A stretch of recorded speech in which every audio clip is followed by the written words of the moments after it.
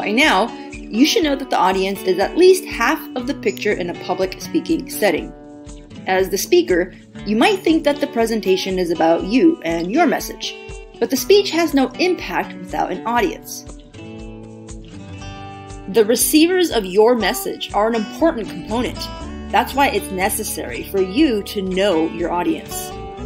When you know your audience, you'll be able to tailor your message to them, leaving a positive impression that can lead to successful speech outcomes.